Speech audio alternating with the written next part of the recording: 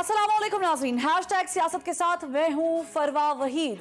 नाजरीन, मुल्क में क्रिकेट के पीएसएल का मेला सच चुका है। आने वाले दिनों में चौको छक्कों की बरसात होगी, गुगली और यॉकर्स की भरमार होगी।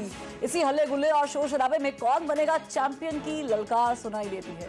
क्रिकेट की हरीफ टीमें एक दूसरे को पिछाड़ने के लिए मैदान में उतर चुकी हैं, मगर कौन मैदान मारेगा और कौन होगा चारों शाने चित? इसका फैसला होना अभी बाकी है। ठीक क्रिकेट के पीएसएल की तरह की तरह सियासत के पीएसएल का मुकाबला भी उरूज पर है। तहरीक इंसाफ पीछे और पीडीएम आगे आगे है। कप्तान खान मुल्क में इलेक्शन कराने के लिए एडी चोटी का ज़ोर लगा रहे हैं। इसके लिए एक जानब वो अदालतों का दरवाज़ा खटखटा रही हैं और दूसरी जानब हुकूमत को दबाव में लाने के लिए जेल भरो तहरीक भी शुरू करने का ऐलान कर चुके हैं। इमरान खान ने कल एक बयान में दिन में इंतबात न होने की सूरत में जेल भरो तहरीक शुरू करने की तारीख देने का ऐलान किया। पाकिस्तान का आइन जो वाज तरीके से कहता है कि नब्बे दिन के आगे इलेक्शन नहीं जा सकती। नब्बे दिनों के बाद एक दिन के बाद यह हुकूमतें गैर आइनी हो जाएँगी।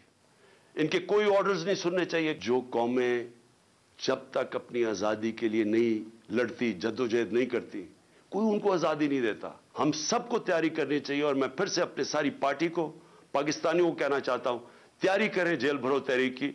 इन मैं चंद दिनों में इसकी अनाउंसमेंट करूँगा। खान साहब गुजश्ता दस महीनों से मुल्क में इलेक्शन कराने के लिए सर तोड़ कोशिशों में लगे हैं जबकि हुकूमत इलेक्शन कराने के मूड में दिखाई नहीं देती। विभागी वजर दाखिला राना सनाउल्ला ने कल मीडिया से बात करते हुए कहा कि हाईकोर्ट ने नब्बे दिन में इलेक्शन कराने का कहा है। इलेक्शन कराना इलेक्शन कमीशन का काम है वो जब चाहेगा इलेक्शन करा देगा। इलेक्शन जो है वो ठीक है इलेक्शन कमीशन का काम है। इलेक्शन कमीशन जो है वो जब चाहे, जैसे चाहे, वो इलेक्शन जो है वो करवाएगा। हम इन ताला इलेक्शन लड़ने के लिए वो भले अप्रैल में हो या वो हो अपना अक्टूबर में। वो पीडीएम जो तरीके इंसाफ को इस्तीफे देने और असम्बलियाँ तहलील करने का इसलिए चैलेंज देती थी कि हम फौरी इंतबात करा देंगे। आज इंतबात से भागती नज़र आती है। नून लीग को ना तो अब वोट को इज्जतों का बयानिया याद आ रहा है और ना ही उनके इतिहादी पीपल्स पार्टी को जमहूरियत की सरबुलंदी और आइन की पासदारी का ख्याल है कि नब्बे दिन में इलेक्शन करा के मुल्की सियासी डेडलॉक को खत्म किया जाए। तरीके इंसाफ मुल्क में इस्तेकाम के लिए इलेक्शन की रट लगाए हुए है तो हुकूमत अपने हरीफों की गिरफ्तारियाँ शुरू किए हुए हैं। इन्हीं गिरफ्तारियों, बयानबाजियों, इदारों को मिलान करने की बातें और डेडलॉक के नतीजे में मुल्क की सियासी बहरान शिद्दत इख्तियार करता जा रहा है, जबकि मुआशी लिहाज से भी मसाइल मजीद गंभीर होते जा रहे हैं।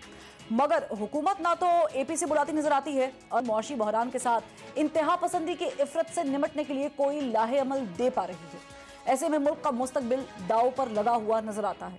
मौजूदा सियासी डेडलॉक का खात्मा कैसे होगा? इस पर बात करेंगे हमारे मोजज मेहमान। हमारे साथ मौजूद हैं बैरिस्टर चौधरी एतजाज एहसन साहब मारे कानून भी हैं और एक बड़ी ही गहरी नज़र रखते हैं सियासत पे।